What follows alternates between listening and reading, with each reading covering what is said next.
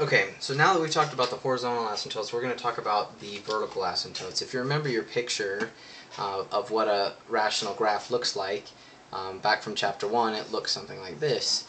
You've got your axis, and then you've got your equation, or sorry, your uh, graph actually coming in here, and it usually had a vertical asymptote. So we've already talked about having a, a, a horizontal asymptote like this, and so your graph would look something like this. You'd have, I'm sorry for bumping the camera here, so you'd have something that does that, and then you could have something that does this. You can also get other ones with multiple um, vertical asymptotes, and we'll get into that here in just a second. But if you remember, you'd have ones that would get really, really close out here and really close out there, but it'd also get really close up here and really close down on that asymptote, that vertical asymptote. So we're going to talk about why that is. Erase this real quick. Okay, so if we bring up an example and we can talk about it, I'm going to talk about um, this equation right here. We're going to have 1 over x squared minus 16. Okay, so now first of all, to graph this, and that's what we're going to be talking about um, mostly, is to graph that. Here's our graph. Kind of not very straight, but that's okay. And now, let's apply our three rules that we had. This, the top, the numerator, the degree of the numerator is 0, and the degree of the, the bottom numerator the, the denominator is 2, and so we have one where the top is less than the bottom, or the numerator, the degree of the numerator is less than the degree of the, the, the top, the denominator. Uh, sorry guys. Now, that says that our asymptote, or horizontal asymptote, is going to be right here on 0. So I'll put that horizontal asymptote in there. Now, we need to know where the vertical asymptotes are. Now, why do we even get vertical asymptotes in the first place? Well, it happens because we cannot divide by zero. And so in, in our case here, we've talked about the end behavior of this function. We said it's going to get closer and closer to zero as we go this way, and closer and closer to zero as we go that way, but somewhere in the middle, because this is a fraction, there's going to be a place where the bottom, or the denominator, the denominator will equal zero. And because of that, we cannot we will get that asymptote because there you cannot divide by 0. So in this case, we need to figure out when this equals 0. So well, that's easy, just set it equal to 0. x squared minus 16 equals 0. Well, we can't just do that, so we need to factor this, and we say this is actually a perfect square, so we say, um, not a perfect square, but a, a square with a plus and minus So it's minus 4, 16 goes into 4, uh, is its root is, uh, square root is 4, so it's like this. And we check, so x times x is x squared, negative 4 times 4 is 16, and then you have a negative x and negative, negative 4x, and on the outside we have a positive 4x, which then gives us those the middle term cancels. So now, because these are multiplied together, we say that either this is equal to 0 or this is equal to 0, because if one of them equals 0, then that will cancel the other one out, because anything times 0 is 0. So, um, if this is equal to 0, then we'll know, so we set that equals 0, and we say, well, that minus the 4 over, and we say, um, actually, sorry, add the 4 over, so we get plus 4. So one of them is x equals 4, and the other one is x plus 4, and we subtract the 4 over, so we get negative 4. So this says that the bottom, the denominator, is going to be equal to 0 when x equals 4 and x equals negative 4. So we'll put those asymptotes in. So there's our negative 4. Let me get my asymptote color out. So that's going to be our vertical asymptote there, and then we need the others. One, two, three, four not too well to scale, but that'll work. Let me draw that. It's not very straight.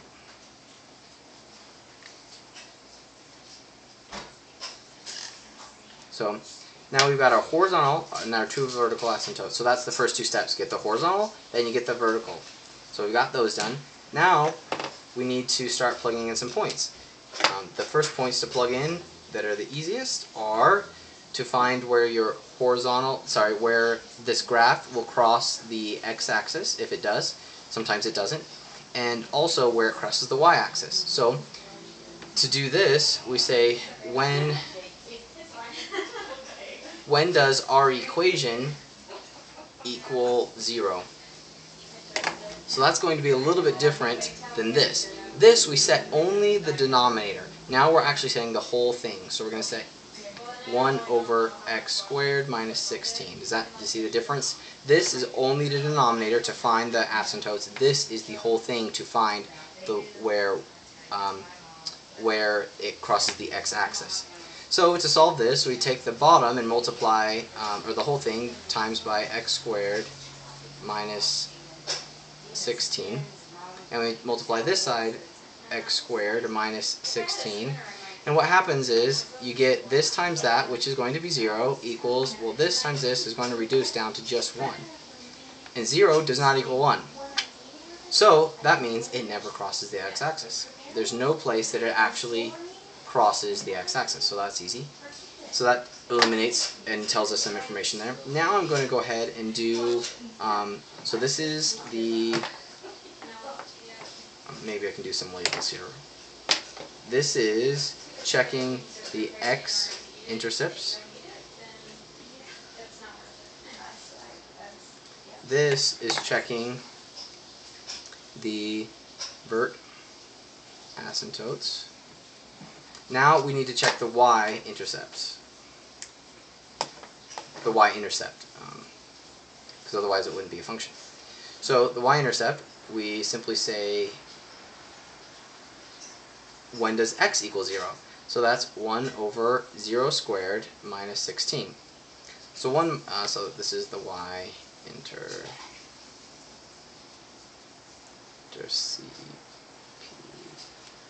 intercept. So 0 squared is 0, so we get 1 over negative 16. So that says that when x equals 0, the y-intercept is negative six, 1 16th. So that's really close, but not actually to 0, which makes sense because here's our asymptote. It's not actually going to touch that. Sometimes it does cross, but today it doesn't. So in this example, it does not.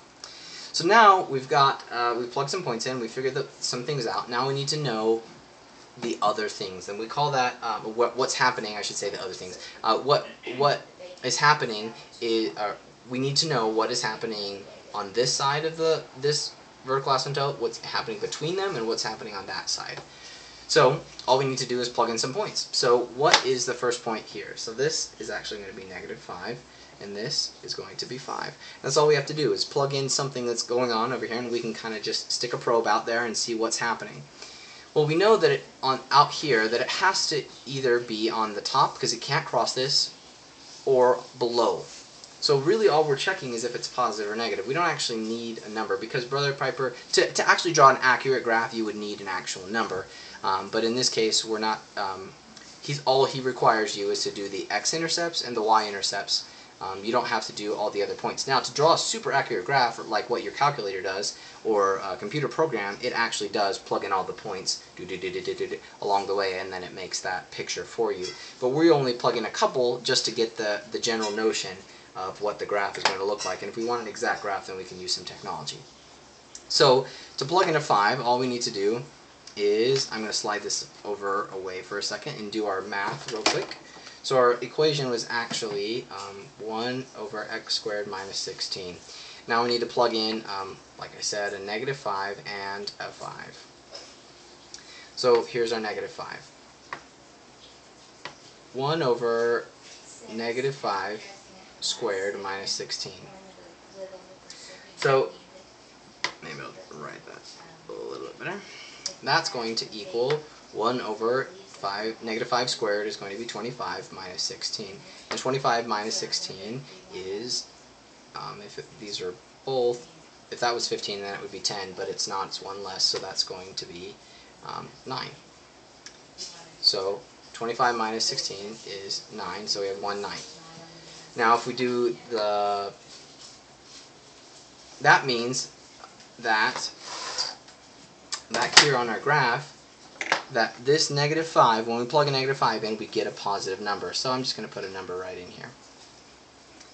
Now let's do our negative number.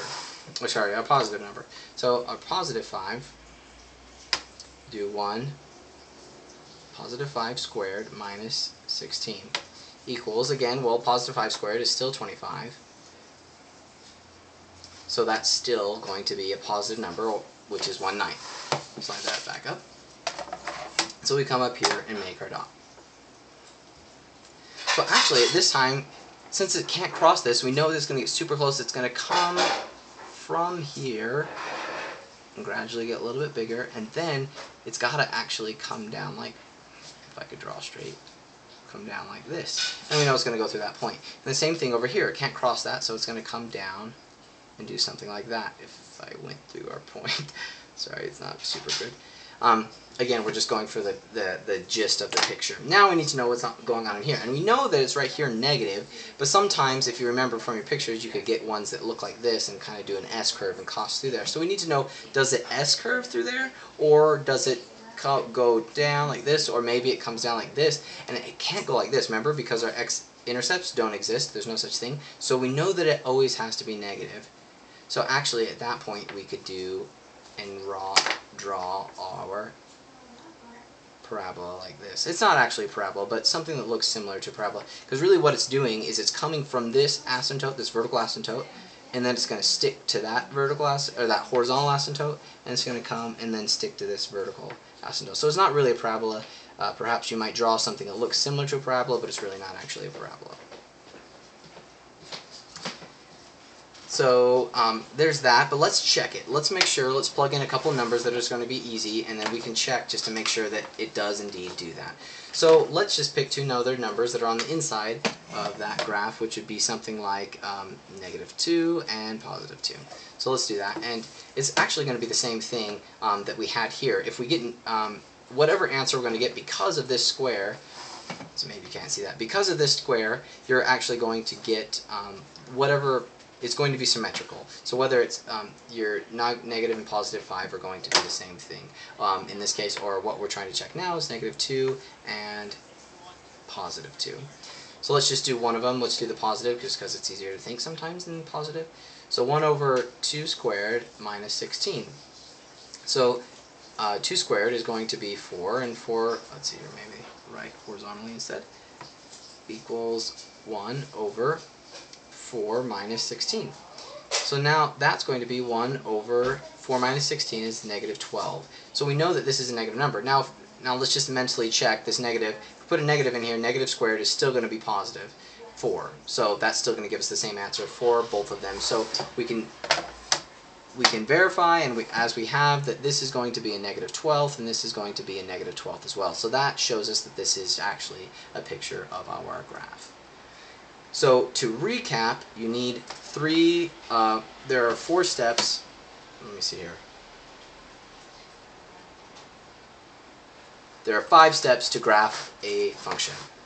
Actually, yes, let's do that now, and then we'll talk about two more things.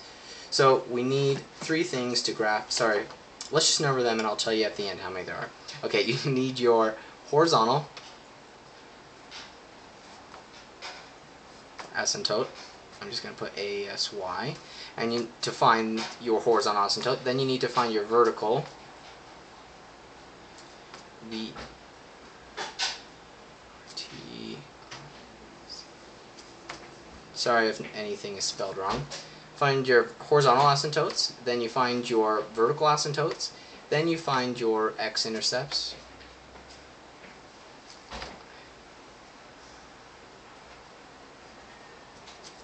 and your y-intercepts. Then number five, you find, you plug in points to determine the orientations for all the pieces.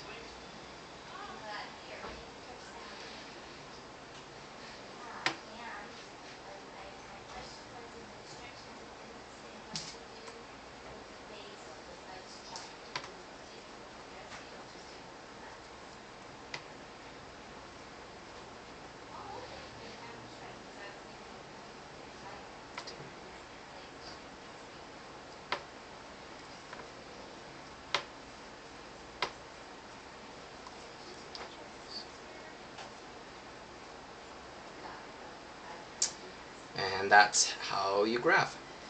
So you need those five steps. The the last thing is simply a discussion real quick about domain and range. Our domain, meaning what can the x's be, we've discovered that it's going to be negative to positive infinity. And because of that, our domain is going to be negative positive infinity. But it cannot be negative 4 or positive 4. So we would say that it's negative positive infinity except for negative 4 and positive 4 in this case. A range, well, this is going to go to positive infinity and this is going to go to negative infinity, but we got this, excuse me, we got this horizontal asymptote here. So again, we have negative infinity to positive infinity except for this right here. And that is going to give us the domain and range of these two things. Then uh, the next video will be how to, we're going to graph a um, oblique to see that our horizontal asymptotes are no longer horizontal, but they're oblique asymptotes. So um, again, when we do that division and, and get that line um, for when the numerator is degree, the degree of the numerator is greater than the degree of the denominator. And we'll do one more graphing video.